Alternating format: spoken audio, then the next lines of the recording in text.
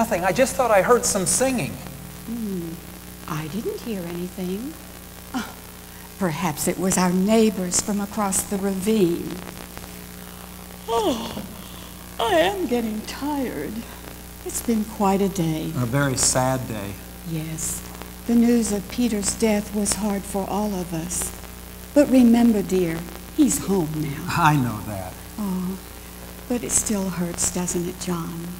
You and Peter were such good friends. You shared so much together. It's just there's so very few of us left, those that were there with him. I know. That's why you must finish your book.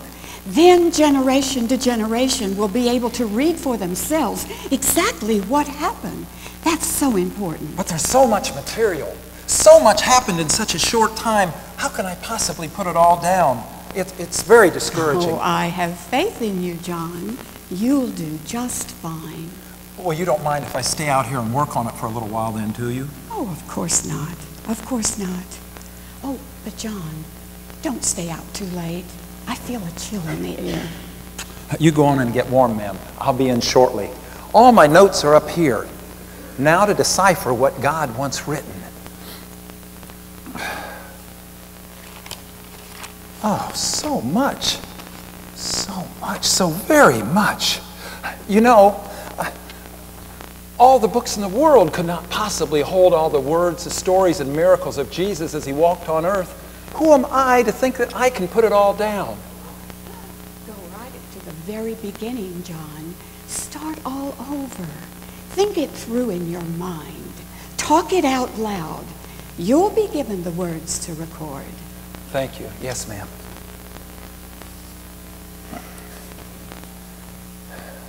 In the beginning was the Word, and the Word was with God, and the Word was God. He was in the beginning with God. All things came into being through him, and without him, not one thing came into being. What has come into being in him was life, and the life was the light of all people. The light shines in the darkness, and the darkness did not overcome it. Yes, yes, this is good. Now, where are my notes about John the Baptist? Oh, here they are. Uh, and this is a testimony given by John when the Jews sent priests and Levites from Jerusalem to ask him, Who are you? I am a voice crying in the wilderness, Make straight the way of the Lord. The next day he saw Jesus coming towards him and declared, Here's the Lamb of God who takes away the sins of the world. This is he of whom I said, A man comes after me who is ranked ahead of me because he was here before me. I didn't know him, but I came baptizing with water so that he might be revealed to Israel. And John testified. And I saw the Spirit descending from heaven like a dove, and it remained on him. I myself did not know him, but the one who sent me baptizing with water said to me, he upon whom the Spirit descends and remains is the one who baptizes with the Holy Spirit. And I myself have seen and I've testified that this is the Son of God.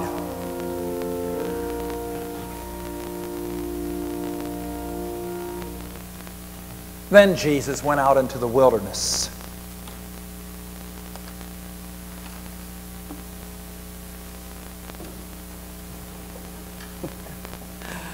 My, my, my, my. Now, who do we have here?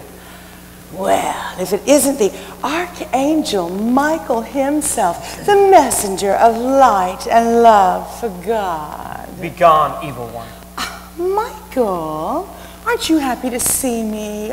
I came all this way just to talk to you. It's, it's been so long since we had a little chat. I've missed you so. I said begone, Satan. Don't be such a grouch. Anyways, I didn't come to see you. I lied. I came to see him. I think not. I think so. No, Michael. I will speak with him now. it's my father's will. Watch it, snake. I'm watching you. I won't be far.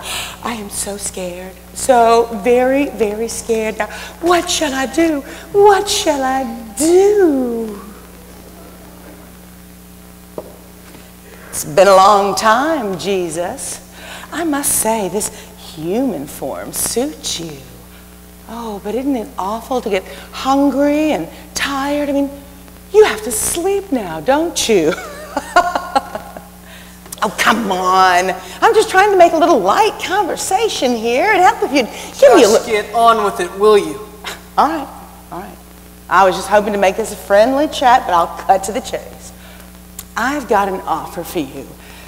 But before I give it to you, would you please eat something? I mean, you've been up here for 40 days and 40 nights without food, and frankly, you look awful. I mean, it makes even me feel guilty. if you are the Son of God, command these stones to become loaves of bread. You have divine power over this physical world with just a thought. You can do it. I know you can do it. It is written, Man shall not live on bread alone, but from every word that comes from the mouth of God.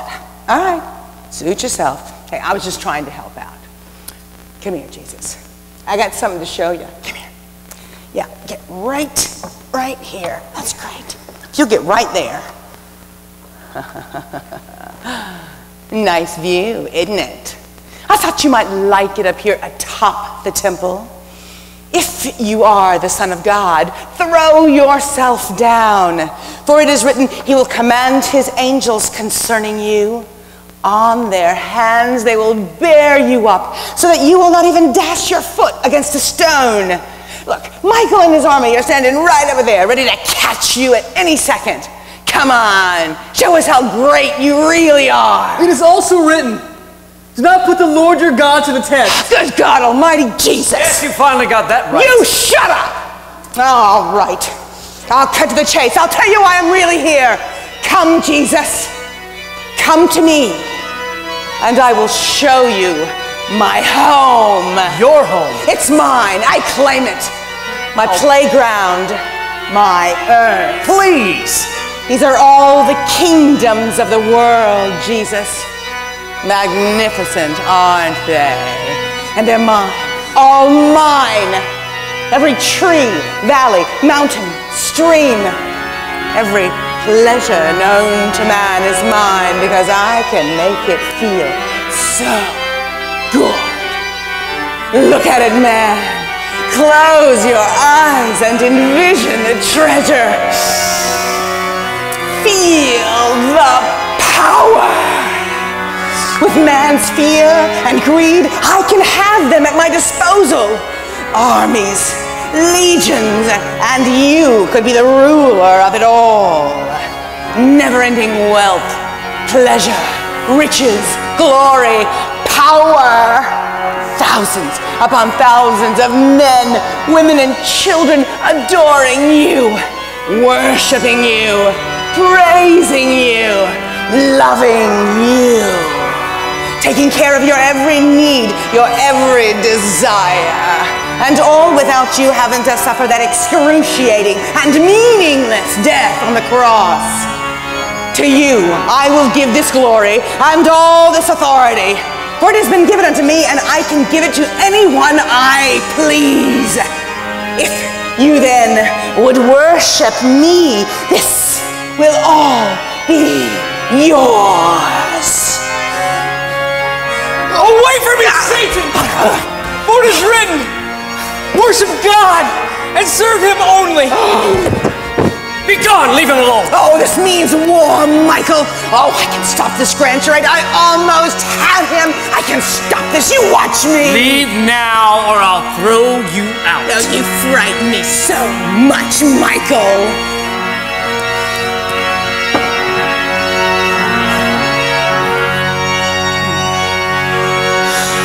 Be gone, great dragon!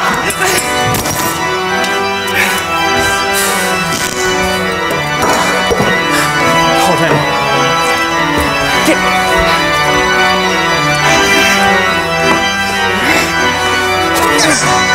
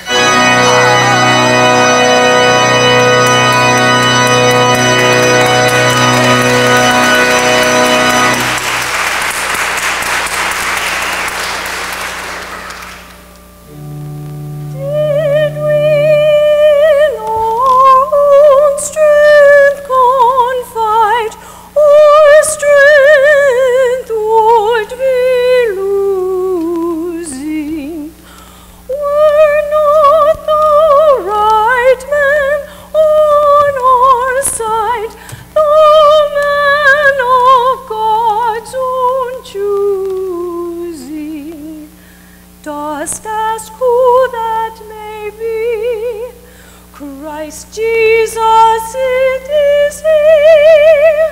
Lord, Sabaoth his name, from age to age the same.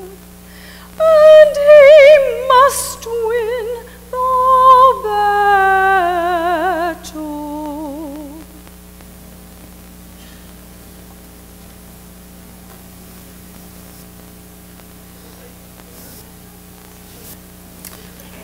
honestly, I can't possibly cook for this many people again. Well, you don't have to. We have been invited to a wedding feast tonight. And you're telling me now, at four in the afternoon? Simon, enough is enough. When is Jesus going home?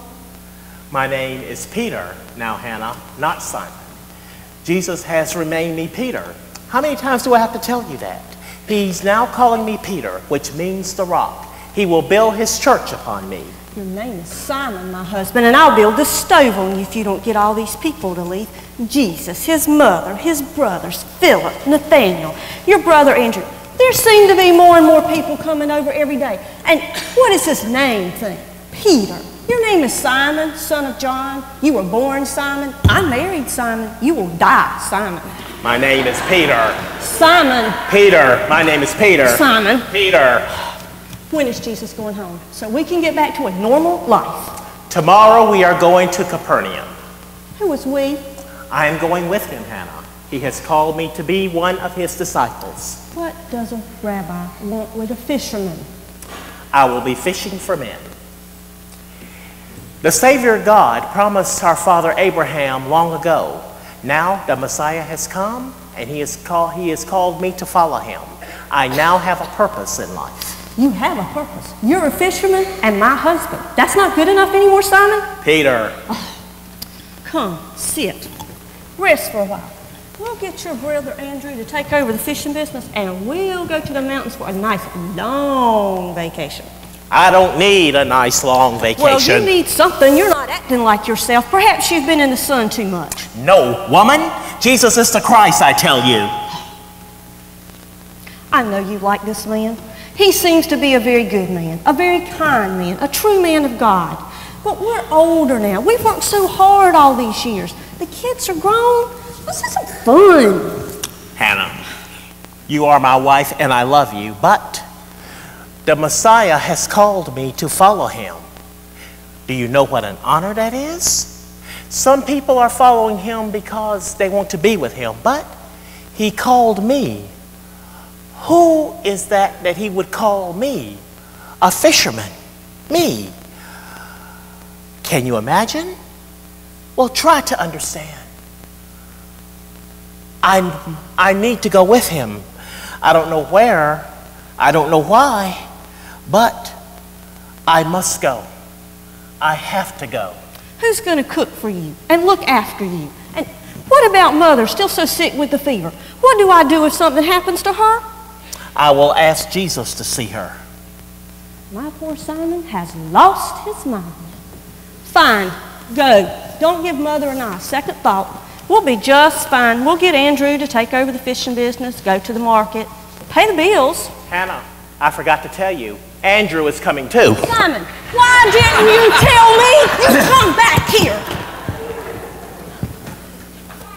Jesus began his ministry that night. At a wedding feast, he performed his first miracle by changing water into wine, and all his disciples believed in him. Jesus called 12 disciples to follow him. Uh, there was Simon, whom he renamed Peter, and his brother Andrew, and James, and John, and Philip, and Bartholomew, and Matthew, and Thomas, and James, the son of Alphaeus, and Simon, who was called the Zealot, and Judas, the son of James, and Judas Iscariot, who became a traitor. What an odd crew. Let me see. There were four fishermen, a tax collector, two sets of brothers. Uh, they were all very different people, not alike at all, really. Uh, they came from different class, without title or rank, but they had one thing in common Jesus. He was rabbi, master. He taught, he inspired, he challenged. He was a friend, uh, someone who listened, really listened and cared. He counseled when needed and consoled in times of weakness and pain. He was a friend. He loved them. He gave them purpose to their lives. Uh, he was also master and, and, and savior who led the way to the kingdom of God. You know, not only were the disciples' lives changed, but thousands of other people's whose lives he touched in his three short years of ministry. Each had their own unique story to tell.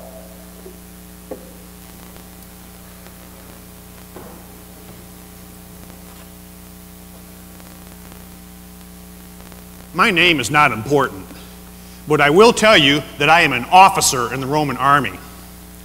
This boy is one of my favorite people in the whole world. He's like a son to me, to my entire family, really. A while back, he was very ill.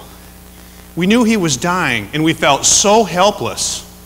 We had everything that money could buy, but we could not buy his life. Then one day, someone told me about this Galilean, a Jew, a man named Jesus. They said that he was the Son of God and that he could heal my boy.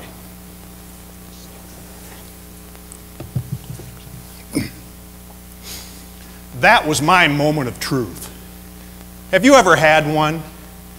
Have you ever reached a point in time in your life when you realize that everything you once thought was so blessed important was useless, meaningless? What, what good were all my worldly possessions or my rank if I lost my boy? My entire world was crumbling and my heart was breaking. Do I believe in this God or do I forever reject him? Then it hit me. If Jesus was who they said he was, then he could heal my boy. It's logical. I am in charge of many men. I tell this one to do this, and he does. I tell that one to go there, and he does. There are no questions, no arguments, no debates. If this man is truly the Son of God, then he just has to say the word, and my boy will be saved. I went out to find Jesus. I didn't have much time. I knew who he was the moment I saw him his eyes, his smile. I forced my way through the crowd and I begged him to please heal my boy. Then Jesus looked at me for a very, very long time, right square in the eye. Not many people will do that because of who I am. But it, it was as if he was searching my soul. But I was not afraid. I believed in him. I had faith in him. Then he spoke. He told me, Go. The boy will live. and he did. My boy got well. I was on my way home when I ran into some of my assistants, and they told me that my boy began to get better at the exact moment I had spoken with Jesus the day before. Do you believe that? Well, we do. Myself and my entire household believe that this man is the Son of God.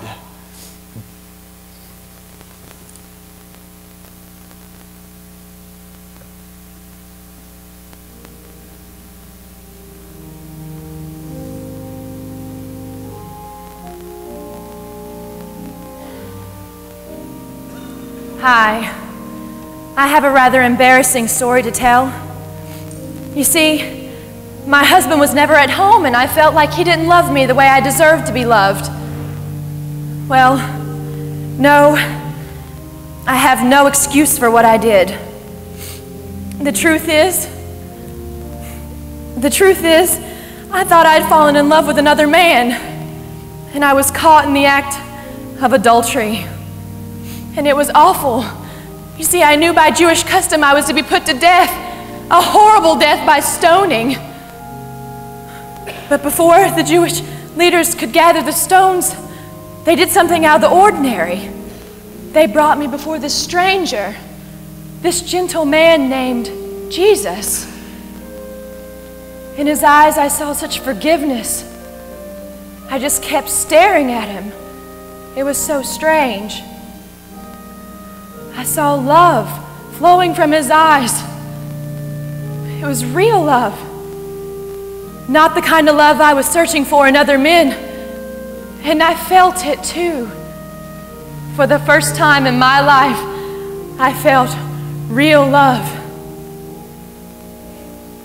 Then reality came crashing in on me. The children had finished gathering their stones and were mocking me. And the women, they were enraged. And the men, the very men who were so so kind to me, were ready to kill me.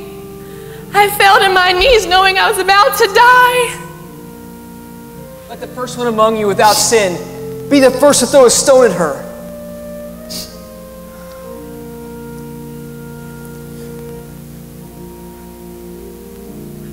It was quiet for what seemed like an eternity. I was waiting for the stones to strike. Then, one by one, the people left. No one threw a stone at me, not even one little stone. Woman, where are they? Is no one left to condemn you? No one, sir. Then neither do I condemn you. Go and sin no more. That was the day my body and soul were saved. Oh, thank you, Jesus. I love you, Jesus.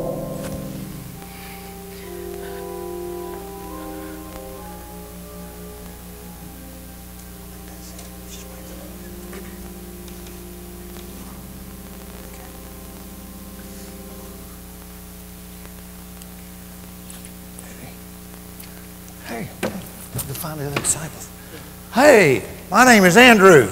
Simon is my Peter, brother. Oh, Peter. yeah, Peter. Well, anyway, this is the other Simon who is also a disciple. Yeah. Well, I just got to tell you a story. It's almost too strange to be true. Well, we were with Jesus down at the Sea of Tiberias, all of us with disciples. Yeah. And uh, man, there was a crowd following him that day. Remember? Yeah. Oh, yeah, they were trying to get close to the master. They must have been 5,000 people. At least. Yeah. Oh my gosh. Well, and it, and it was getting late, and we were getting hungry. Yeah. And, and Philip told Jesus that he would take six months' salary to go out and buy food for everybody. But hey, stuff like that never concerns Jesus. Nah, nah. But I spotted a boy up there who had five barley loaves and two fish. And, well, I was kind of hoping at least we could go over and buy it off of him so at least some of us could get something to eat, you know what I mean? well, you know, mhm, look out for number one. And, and I was, and as I was thinking this, Jesus took the loaves and fish, and he, after he gave thanks, he distributed to everybody who was seated, all 5,000 people. And he told them to take as much as they wanted. And they did. Andrew, I still can't believe this next part. Tell them. Oh, man. After everyone was satisfied, Jesus told us that. uh, Hey, guys, oh, hey, Master. why don't you guys go get all the leftovers so that nothing may be lost? Oh, okay. Well, do you know that we collected 12 baskets full of food after that? 12. Man. How'd he do that? Well, I don't quite know. But he sure made a believer out of me. Yeah, me too. I just wish he wouldn't speak in riddles all the time about the kingdom of God. Parables. Say what? They're not riddles, they're parables. Whatever. I just get really confused. That's all. Yeah, I know what you mean. Yeah. Let's go see if we can find the rest of them. Did you see what happened to that fig tree you told me the other Yeah, day? man, I couldn't believe that. Whoa, man, good gracious.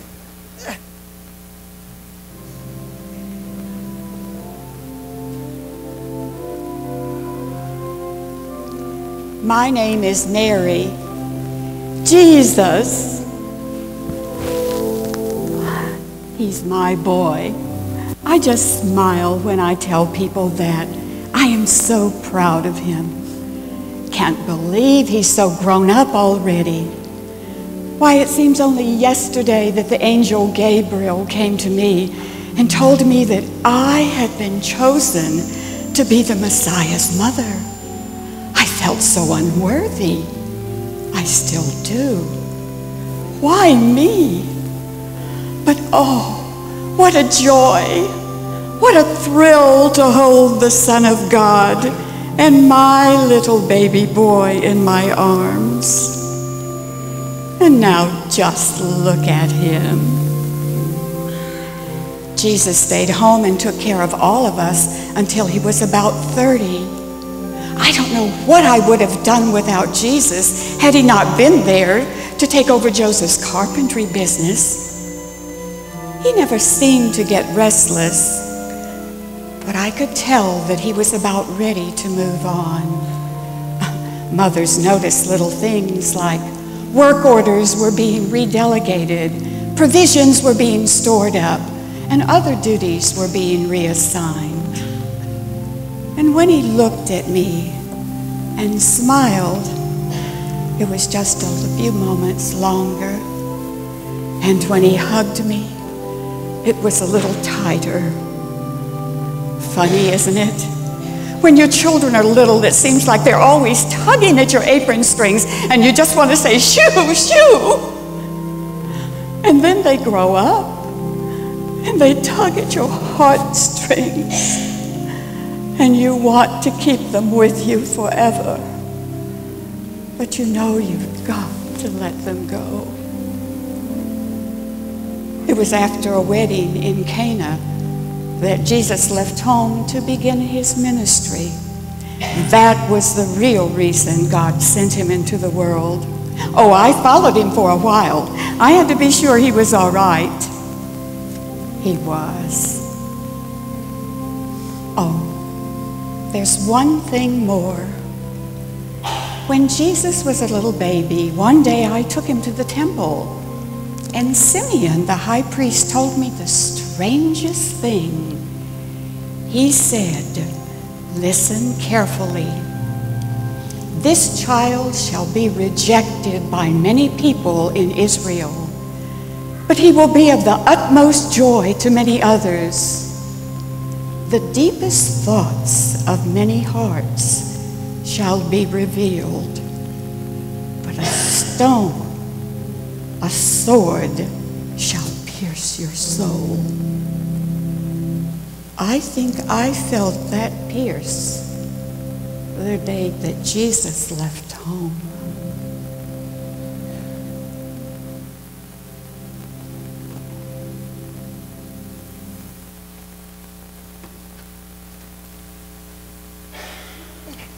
My Peter. Used to call me Simon. Jesus renamed me Peter, which means the rock. He said, Upon this rock I will build my church. People call me a bit fiery and impulsive, but no, I'm not, not really. I just know what I want and where I'm going. That's all.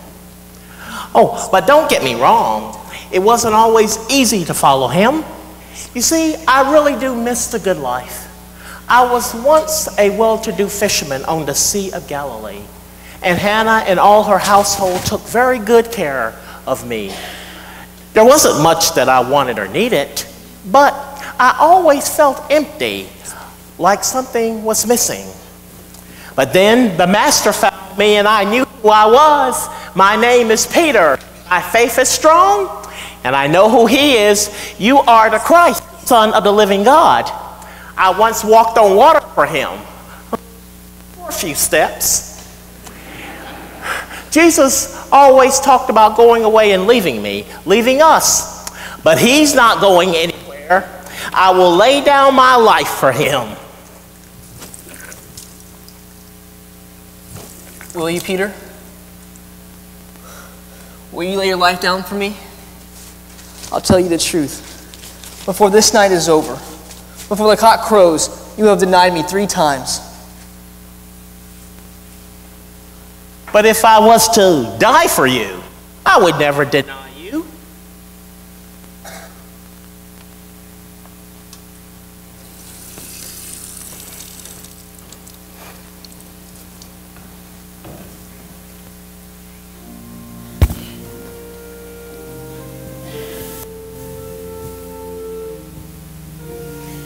My name is Mary.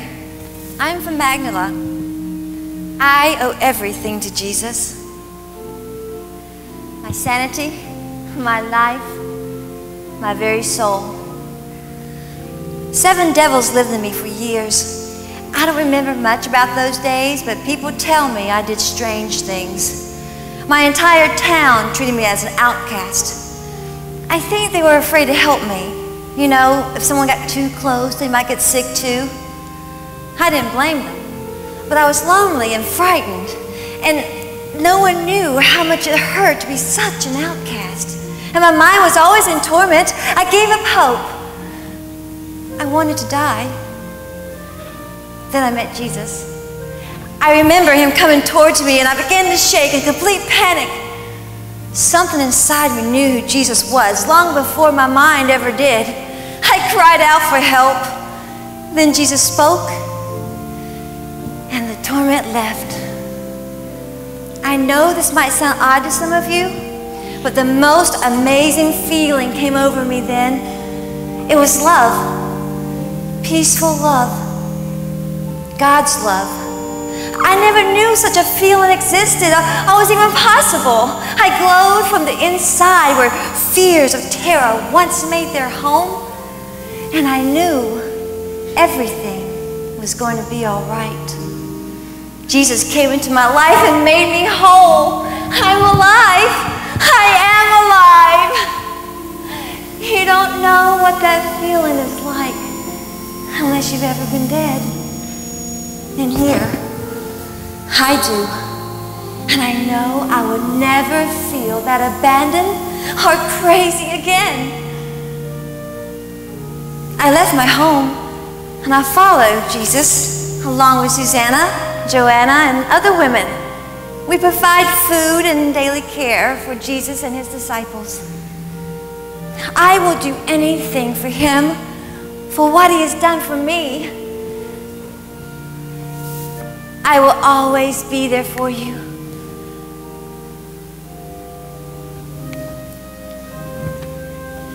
Promise?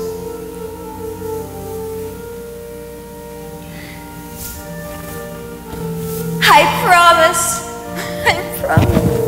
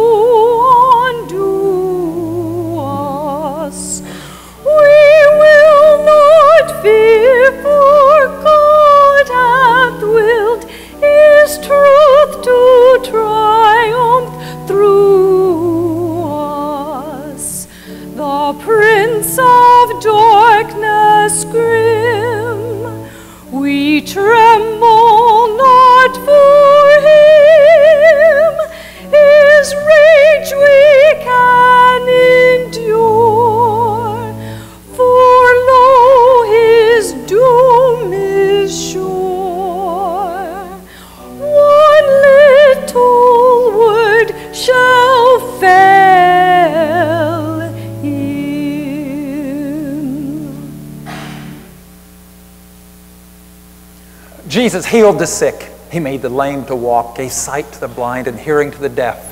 Withered limbs he made whole, and fractured minds he repaired. He performed all these miracles so that man might come to him for complete healing, the healing of the soul, and the resurrection of the body thereafter. He said, I am the resurrection and the life. Everyone who lives in me, though they die, will live. Everyone who lives and believes in me will never die. After three years, Jesus' ministry was complete. He then began to prepare himself for, for what would be the world's greatest sacrifice his own death on the cross.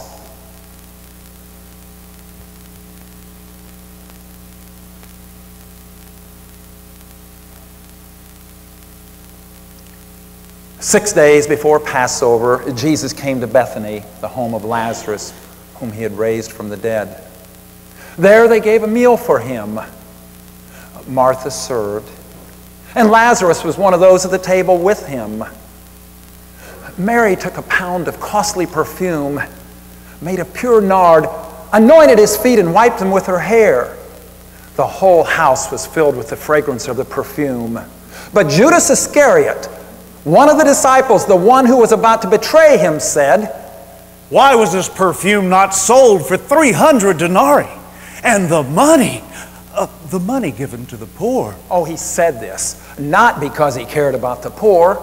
No, because he was a thief. He used to keep the common purse and would steal what was put into it.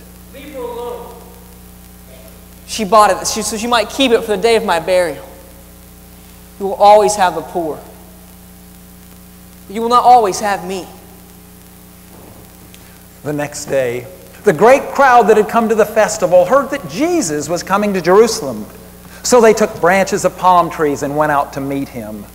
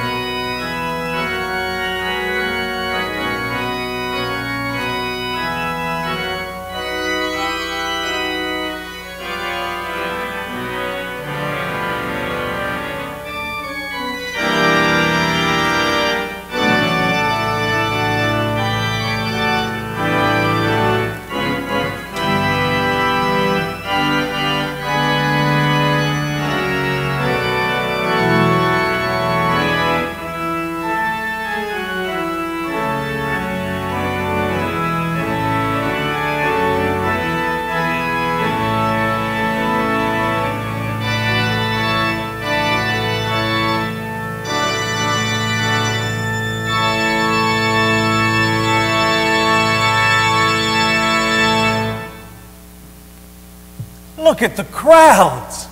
Look how they love you, Jesus. Look at the power you have. The whole world has gone after you. Just think where we can go from here. Judas, how many times must I tell you? My kingdom is not of this world. Stupid, stupid man. He's throwing away a gold mine. I say, dear fellow, you seem awfully upset. Might I be of some assistance?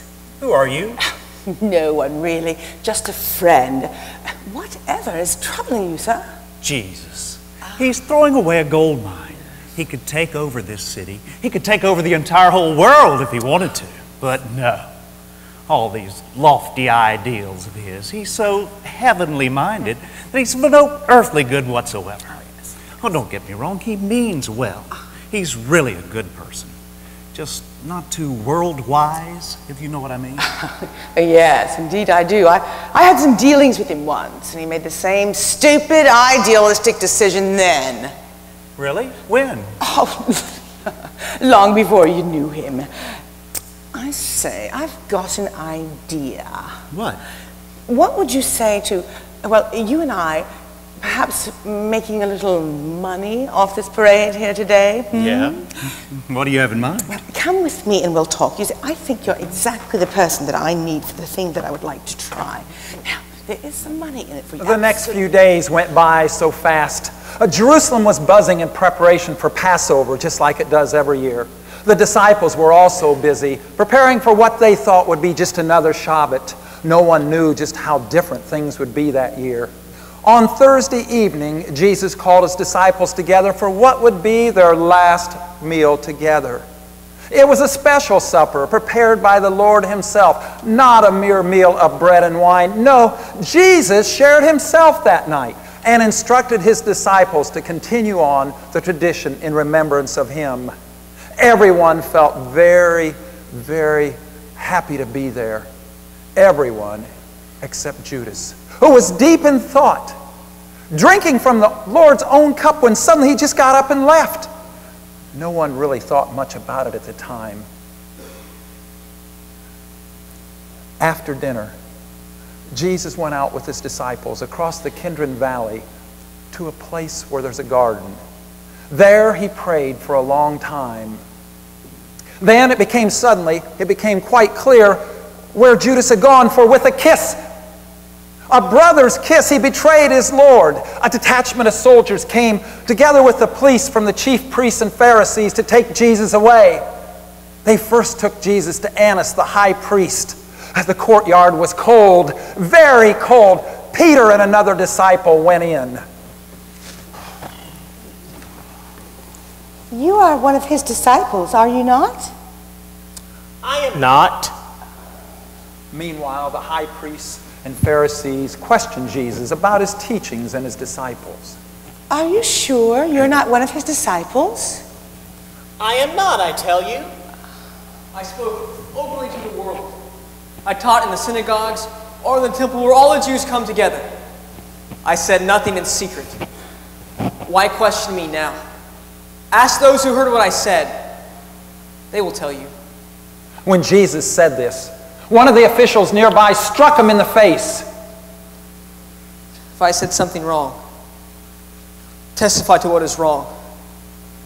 But if I spoke the truth, then why did you strike me? I'm sure I saw you with him in the garden. I tell you, I do not know the man. Eh, eh,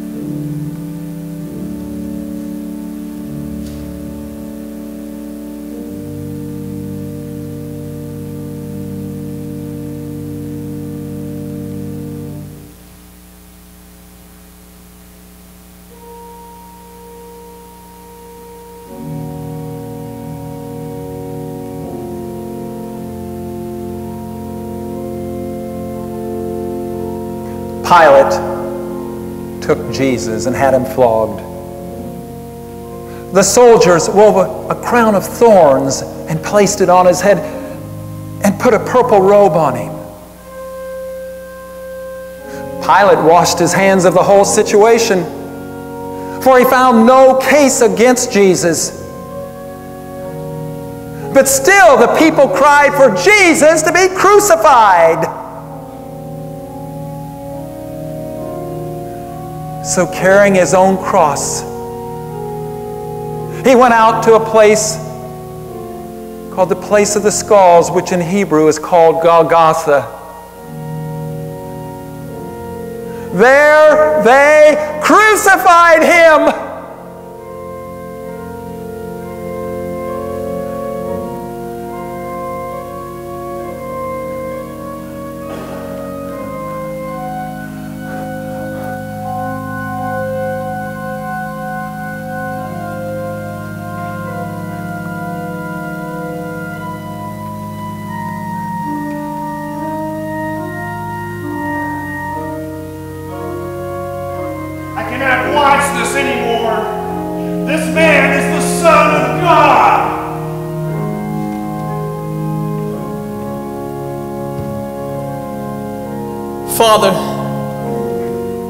Forgive them, for they know not what they are doing. I will never forget what you did for me, Jesus. You were so kind, so good, so caring. I will always love you.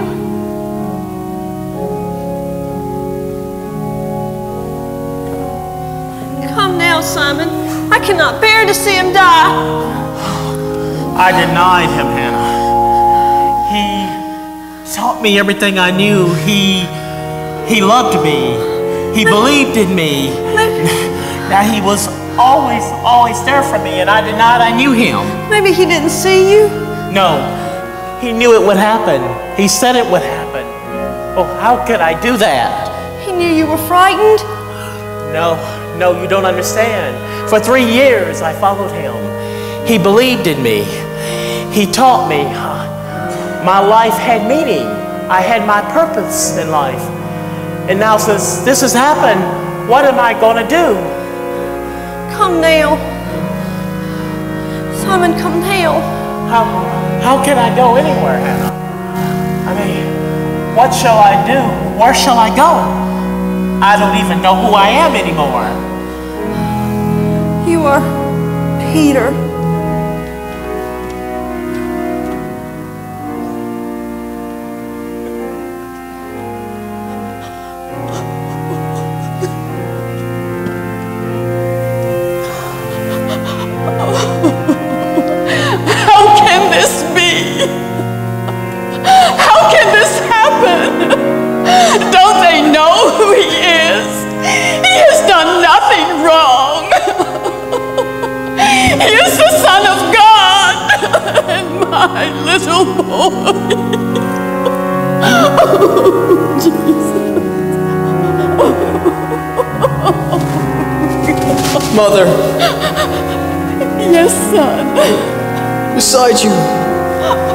Is your son, No, no.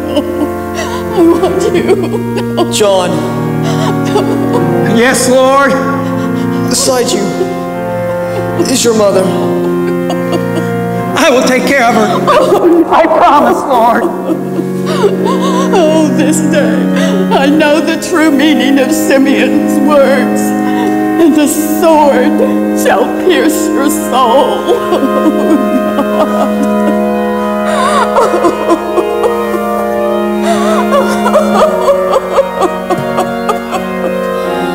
I'm thirsty. Get him something to drink. Please, someone get him something to drink.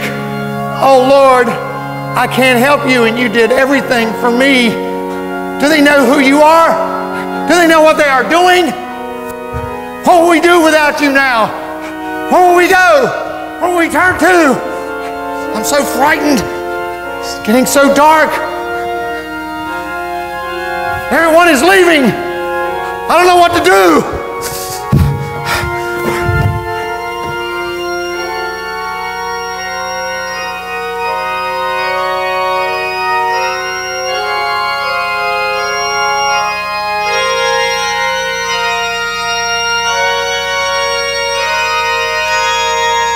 My God, my God, why have you forsaken me?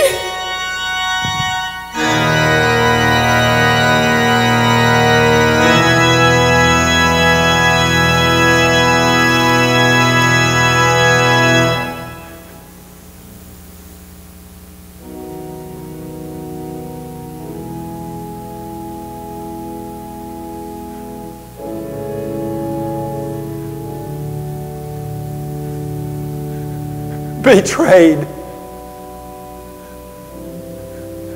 abandoned.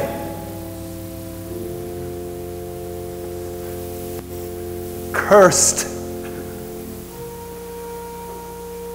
humiliated, scorned, scourged. crucified, rejected,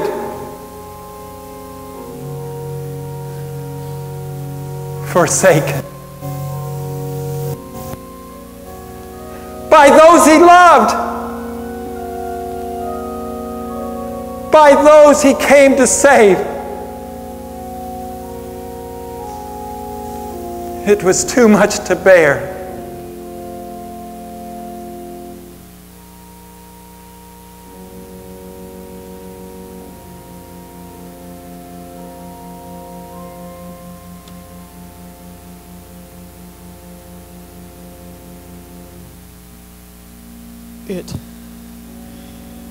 Is finished.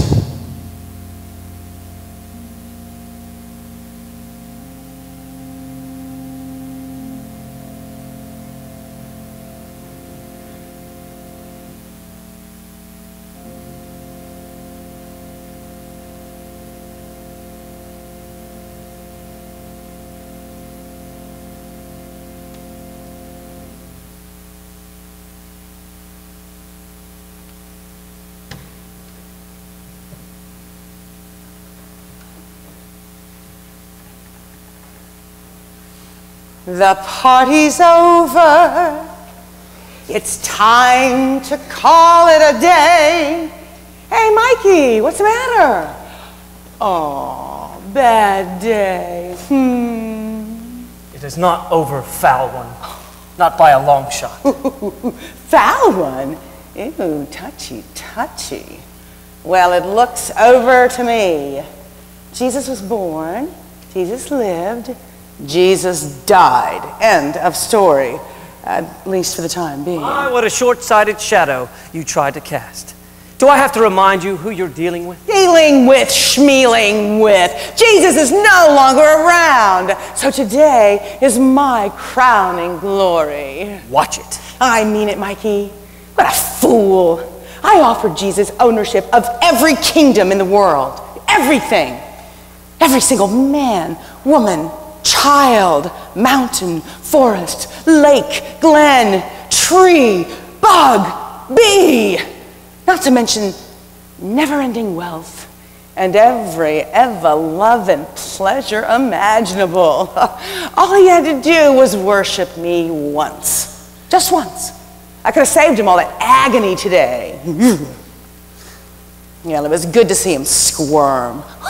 you know what? Jesus almost backed out of it last night. He was this close, man. He was sweating bullets of blood. It was great. He did not almost back out. He was merely feeling the weight of the world's sin on his shoulders. His tremendous love for humankind came with a great price attached to it. Now leave me alone and let me wait it out in peace. Wait? Wait for what? The dawning of the third day, for Jesus Christ to rise from the dead again and sit at the right hand of God.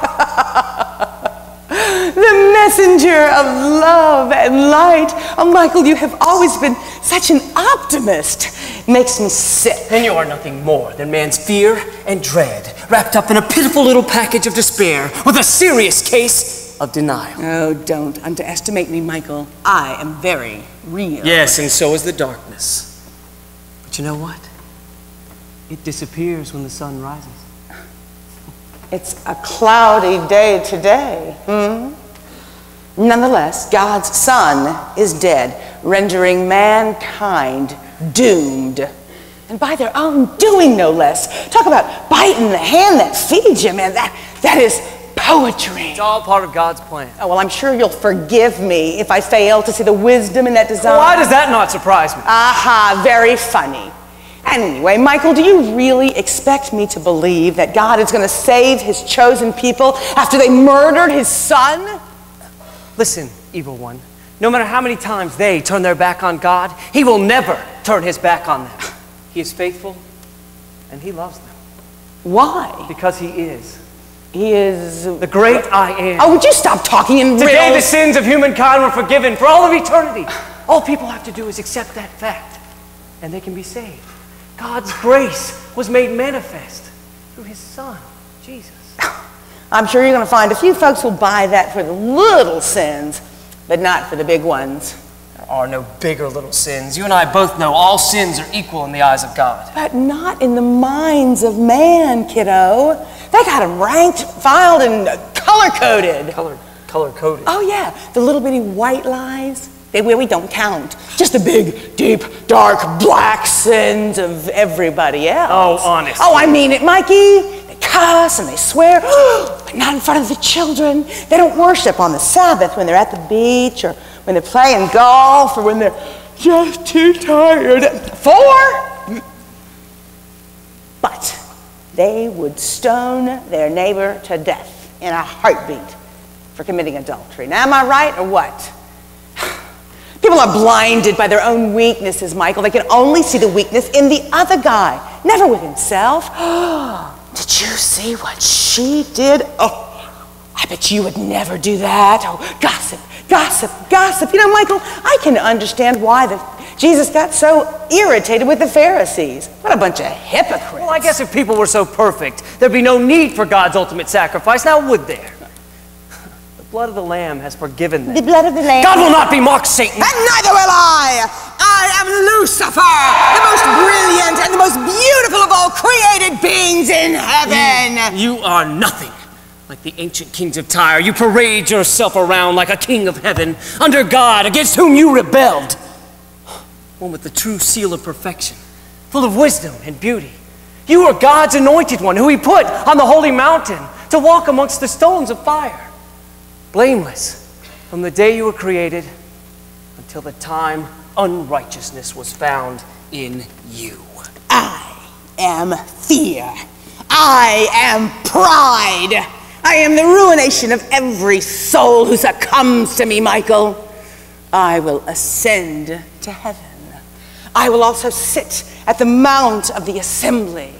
I will raise myself above the stars of God. I will also be where God is. I am the me that doesn't need God.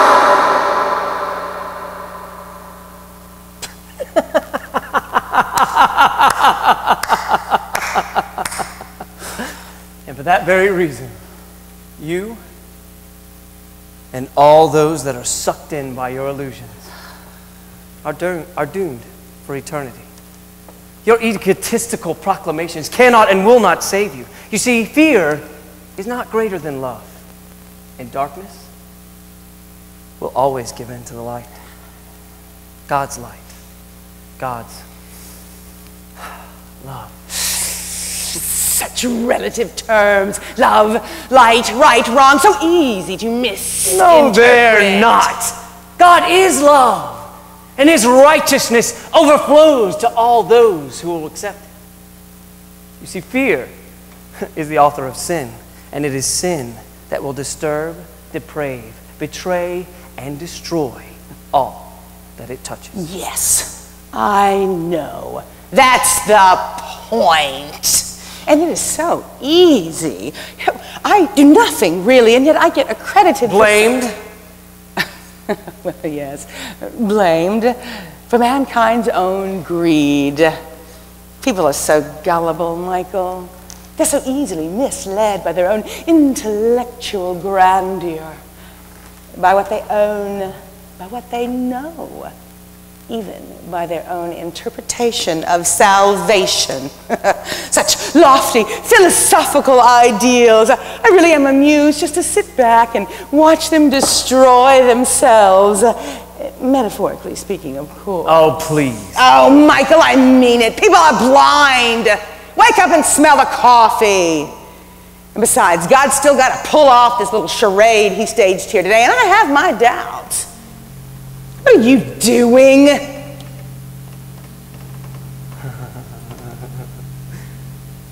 I'm listening. Listening? Listening to what? I don't hear anything. Anyway, as I was saying, Michael, I've won. You better get used to it. I wouldn't be so sure, Satan. Michael? Michael? Oh, what is that noise? Michael! Michael! No!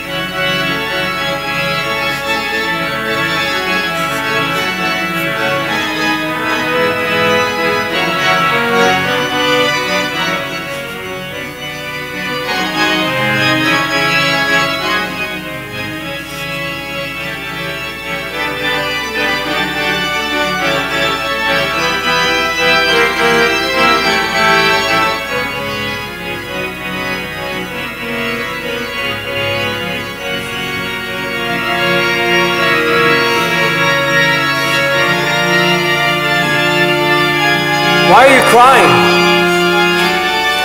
Someone has taken my Lord and carried him away, and I do not know where they've taken him. Woman, why are you crying? Who are you looking for? Sir, if you've carried him away, please tell me where you've carried him, and I will take him away. Mary.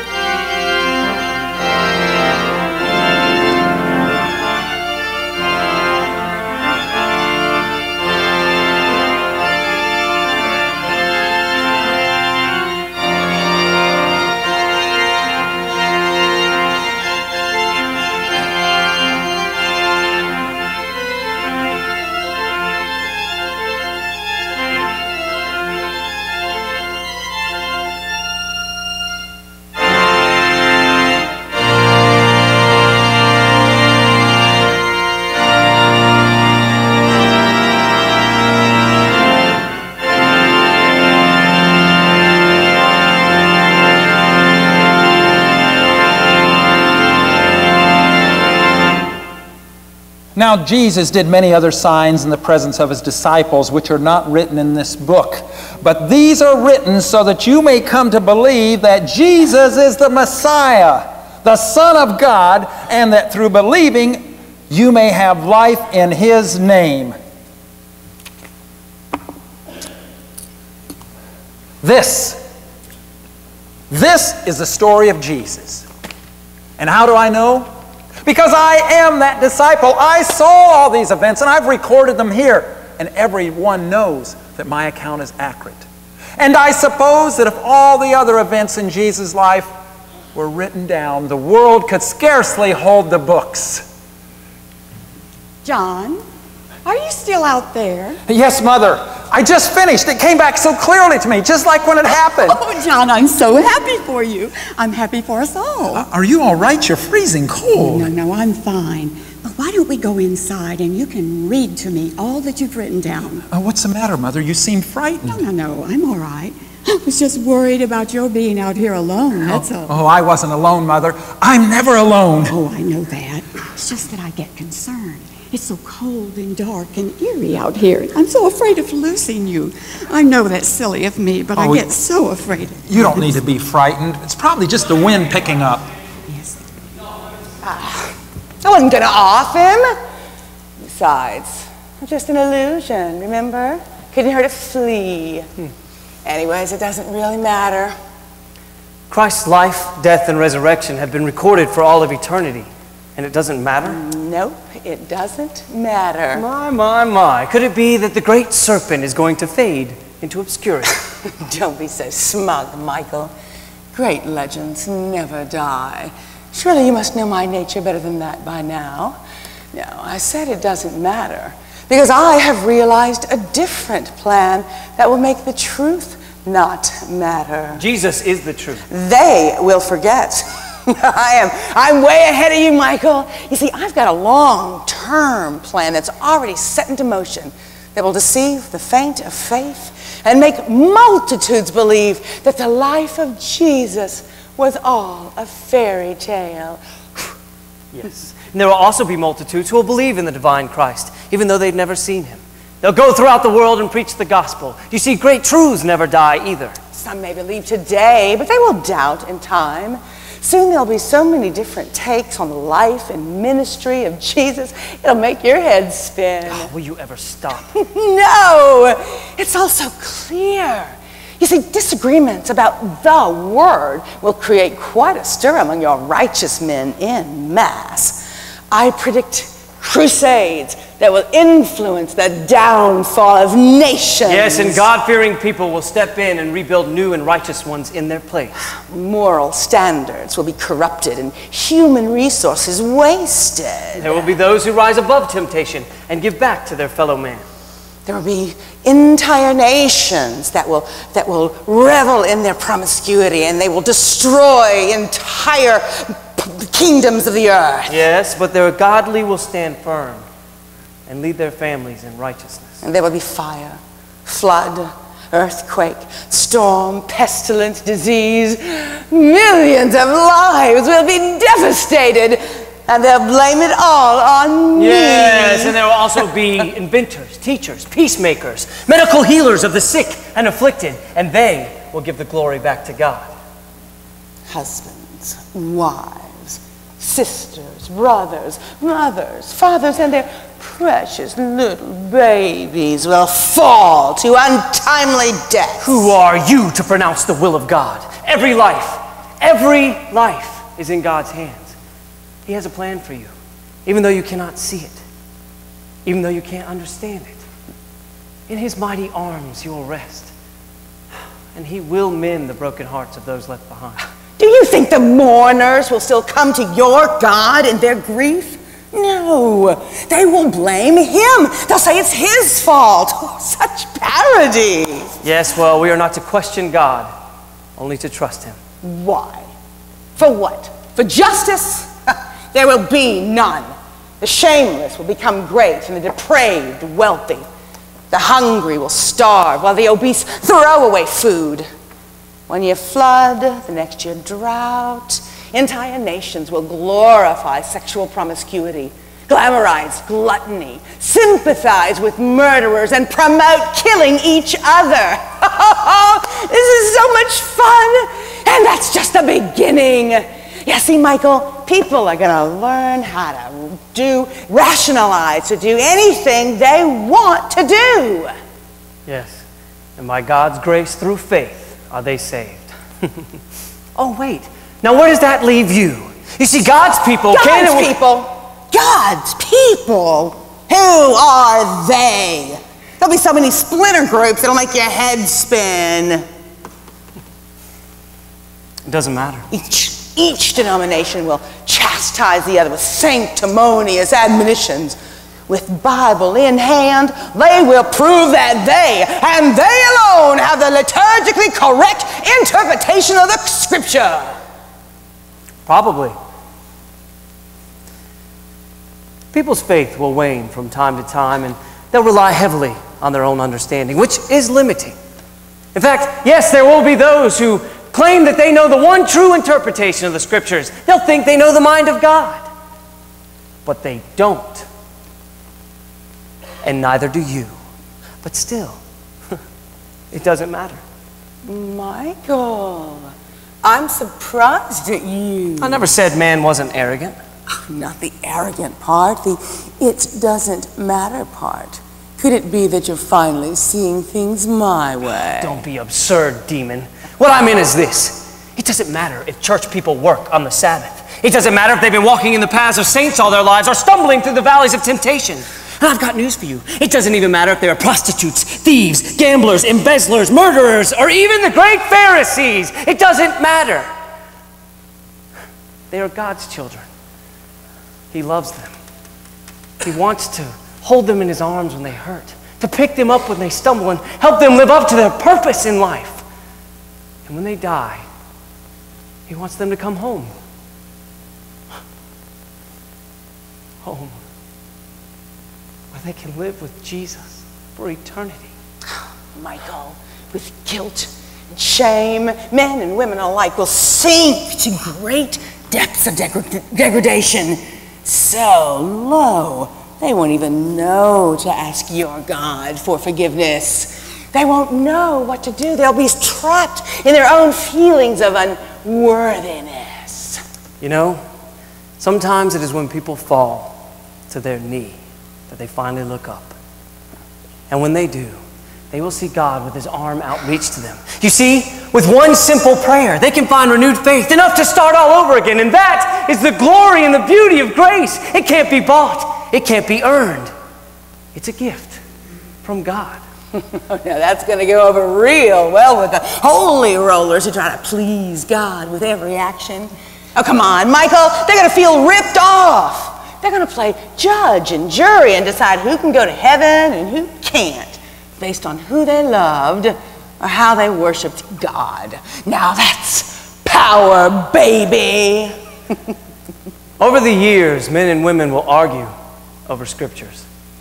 In fact, they will interject their own needs, social rules, spiritual limitations on what's been recorded. There will even be those that create religious rituals and cling to the ritual instead of clinging to the one for whom they were created. But when it gets right down to it, to the nitty gritty, it doesn't matter! because, you see, Satan, to be saved, people don't have to believe in miracles or angels or spiritual rituals or predestination or even in you. because what matters is this and only this that for God so loved the world that he gave his only begotten Son, that whosoever believeth in him shall not perish, but have everlasting life. It'll never fly. By God's grace through faith are they saved. Period. That's it. Nothing more. And there's nothing you can do about it.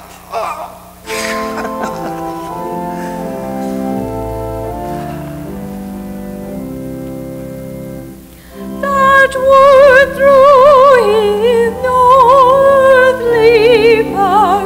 no thanks to him. The Spirit and the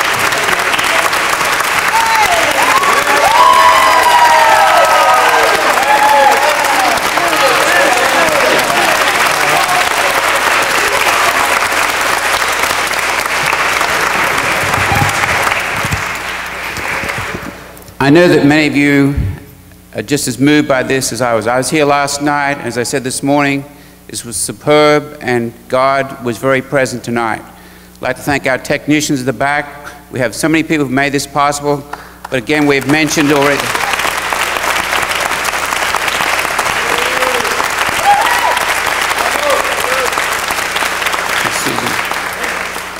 Susan is the one who brilliantly wrote this, and we're so grateful for God's gifts to her.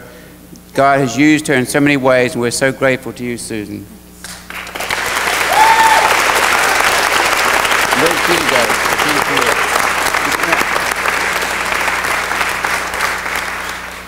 This lady never ceases to amaze me. She is so wonderful, so gifted, and does so many things we do not ever appreciate because she's behind the scenes. But I want to take a moment to especially recognize this dear lady, Judy, who means so much to so many of us. And Mr. Iger, where's Tony? Get Tony.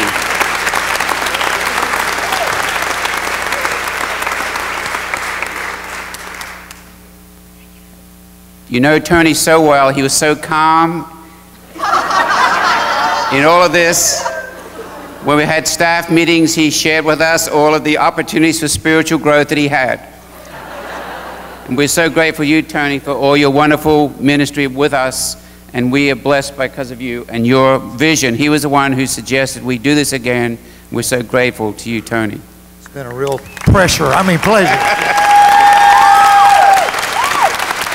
And again, and again, the cash, we'd like to thank them too.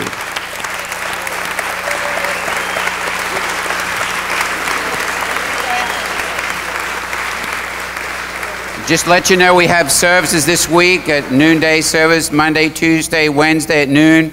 Then, of course, we have on Maundy Thursday a program, and then again five service on Easter Day. So God bless you in this holy week. Thank you.